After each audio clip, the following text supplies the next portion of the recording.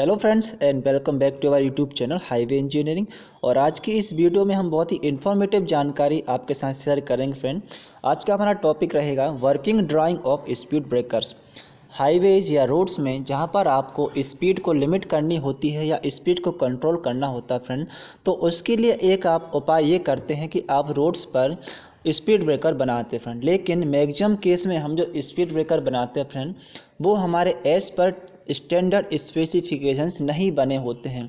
जो हमारे स्पेसिफिकेशंस होते हैं स्पीड ब्रेकर के लिए, वो हमें I R C nine nineteen eighty eight में दिए हुए हैं, जिसमें हमें स्पीड ब्रेकर को किस प्रकार से डिज़ाइन करना है और कहाँ पर कौन सा स्पीड ब्रेकर बनाना है, किस दूरी पे बनाना है ये सब हमारे I R C nineteen nine nineteen eighty eight में हमें विस्तार से दिया हुआ है। तो फ्रेंड, आज की इस वीडियो में हम सिर्फ़ स्पीड ब्रेकर की वर्किंग ड्राइंग पर डिस्कस करेंगे फ्रेंड। ओके फ्रेंड तो अगर ये वीडियो आपको अच्छी लगे तो इसको ज़रूर लाइक करना और अपने दूसरे फ्रेंड के साथ भी शेयर करना। और अगर आप हमारे यूट्यूब चैनल पर पहली बार आए तो हमारे यूट्यूब चैनल को सब्सक्राइब भी कर लेना। तो चलिए फ्रेंड, आगे डिस्कस करते हैं हम working drawing of speed breakers okay friend तो ये जो आप स्पीड ब्रेकर का ड्राइंग देख रहे हैं। इसमें हम सबसे जो हमारा फ़र्स्ट नंबर वाला स्पीड ब्रेकर रहेगा, ये वाला स्पीड ब्रेकर फ्रेंड हम जो लो वॉल्यूम रोड है, जहाँ पर हमारा हैवी ट्रैफ़िक जैसे कि मल्टी एक्सल ट्रक्स या हैवी लोडेड बसेस रन नहीं करती हैं तो वहाँ पर हमें इस प्रकार का क्रॉस सेक्शन या इस प्रकार का जो ड्राइंग रहेगा, वो स्पीड ब्रेकर के लिए फॉलो करना है।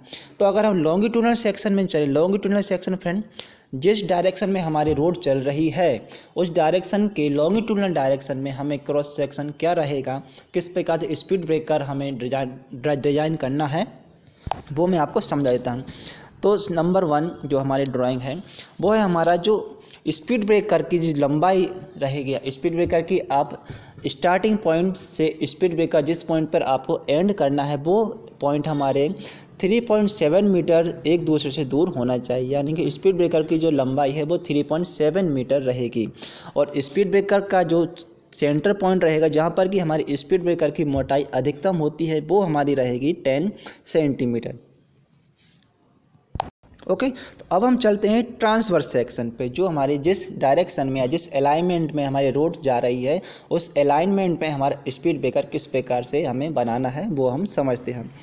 देखो, इस हमारी जो रोड होती है फ्रेंड रोड में जब हम टॉप फिनिश सरफेस पे देखते हैं तो हमें दो चीज़ें या दो हमें आइटम बहुत क्लियरली दिखाई देते हैं। एक होता है हमारा रोड वे और एक होता है कैरिज वे कैरिज वे का मतलब होता है जिस पोर्शन में या जिस चौड़ाई में हमारा सीसी पेमेंट या एसफाल्ट पेमेंट ने कंस्ट्रक्शन किया हुआ है, वो हमारी कहलाती कैरिज वे और नेक्स्ट होता है रोड वे जो हमारी कैरेज वे के अलावा जो हमारे अर्थवर्क होता है, जिसको हम शोल्डर्स बोलते हैं, जो शोल्डर्स और कैरेज वे मिला के जो टोटल चौड़ाई होती है रोड की, वो हमारी कहलाती है रोड वे तो नाइन्टी नाइन के अकॉर्डिंग जो हमारे स्पीड ब्रेकर बनेंगे फ्रेंड वो हमें पूरी चौड़ाई में बनाना है, ठीक है?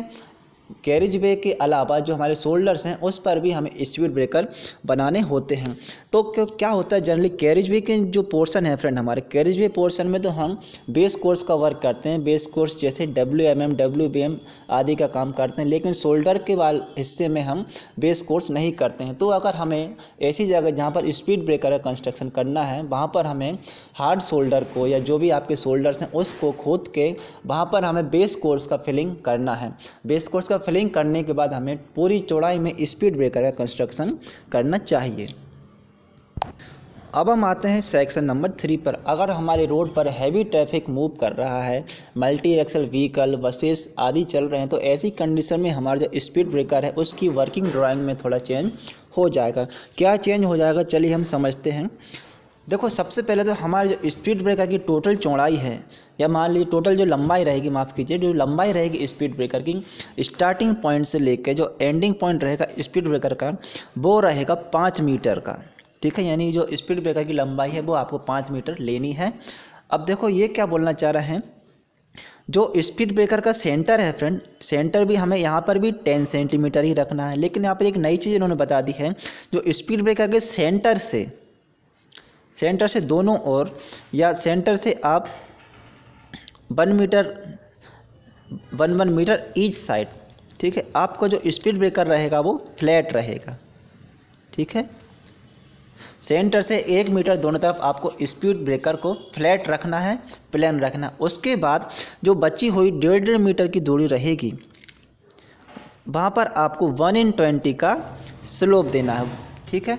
इस प्रकार से आपको हैवी ट्रैफ़िक रोड के लिए स्पीड ब्रेकर का ड्राइंग में प्रिपेयर करना चाहिए। और इसके लिए जो रेडियस रहेगी वो रहेगी सेवनटीन मीटर ठीक है? सेंटर से वन मीटर दोनों साइड या दो मीटर में आपको जो स्पीड ब्रेकर है वो फ्लैट फ्लैट रहेगा।